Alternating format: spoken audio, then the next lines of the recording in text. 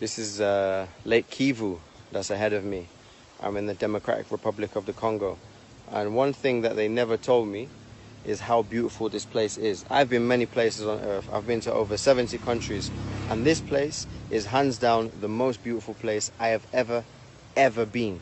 So when they're telling you about war, conflict, Ebola, so on and so forth, what they're basically telling you is don't go to Congo because you should be scared of Congo.